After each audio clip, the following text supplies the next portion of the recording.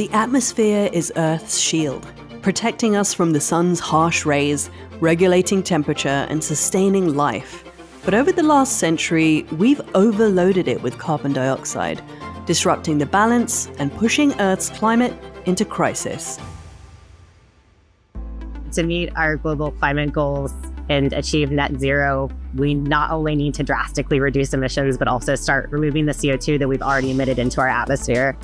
Five X Prize carbon removal finalist teams are pioneering direct air capture, or DAC, technology that pulls carbon dioxide straight from the air and locks it away for good. At the heart of DAC are materials called sorbents. Think of them as CO2 sponges. Some systems are mineral based, others rely on chemicals. In both instances, as air passes through, these materials trap CO2, filtering it out of the air. Heirloom, for example, uses limestone, a naturally abundant material. We send it into an electric powered kiln.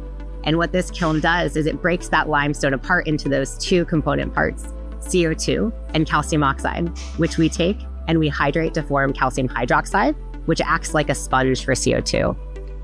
After capturing the CO2, teams then had to develop a method to store it permanently. There are two main approaches ex situ and in situ mineralization. Ex situ mineralization binds CO2 to crushed rock on the surface. Team Heirloom utilizes a byproduct of the construction process for their solution. We can then take the CO2 in this tank and send it to our partners at CarbonCure, where they inject it into concrete where it remains stable and stored permanently on the order of hundreds of years. The Skyrenu team also employs ex situ mineralization, but their unique system uses mining waste, turning discarded rock into permanent carbon storage. The way we mineralize the CO2 with mining residues is pretty simple. We take the, these residues and we actually have them react with the CO2 to make an inert rock that just sequesters the CO2 for millions of years. Many countries around the world have an infamous past leaving piles of mining garbage all over the place. Our goal is also to restore these mining sites to what the landscape was before the mining operation took place. These towns that are sitting next to hundreds of million tons of piles of mining waste they're desperate first to get rid of the stuff. And if you can do this while saving the planet at the same time, well, everybody is, is very happy about that. The other method of carbon storage is in in situ mineralization, where captured CO2 is injected deep underground, rapidly accelerating natural processes that transform removed carbon into solid, inert rock. In Kenya, Octavia Carbon and Cella are proving their solution at scale. Mineralization is a natural process by which carbon dioxide uh, is transformed into a, a, carbonate mineral. And what we do is accelerate that cycle by injecting captured CO2 into kinds of volcanic rocks. Octavia Carbon has built their highly efficient, cost effective, and sustainable system where renewable energy and volcanic geology intersect in Kenya's Great Rift Valley.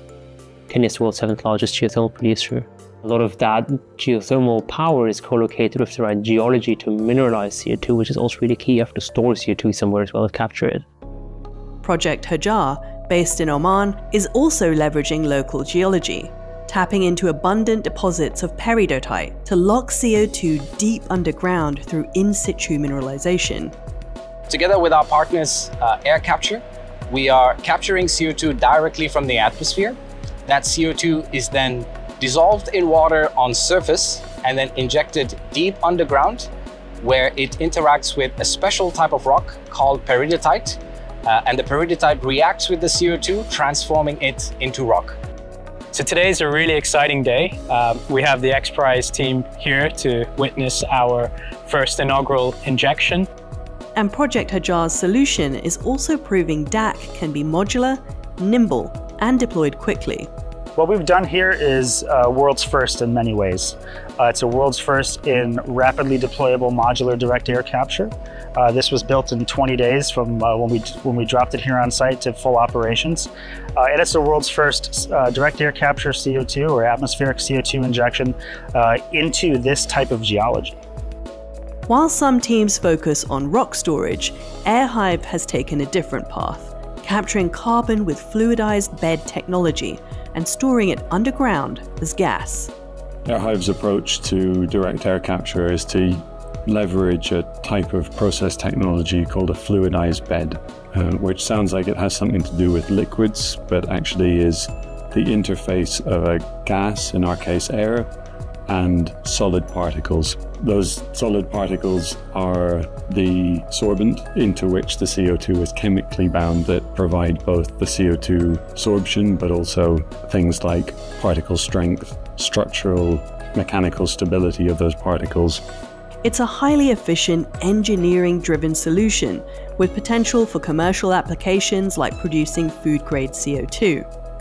In the first half of next year, another pilot with Coca Cola to produce food grade CO2 for them to put into beverages. Because DAC can be set up anywhere, it offers the chance to drive local impact, opening doors to job creation, economic growth, and environmental restoration.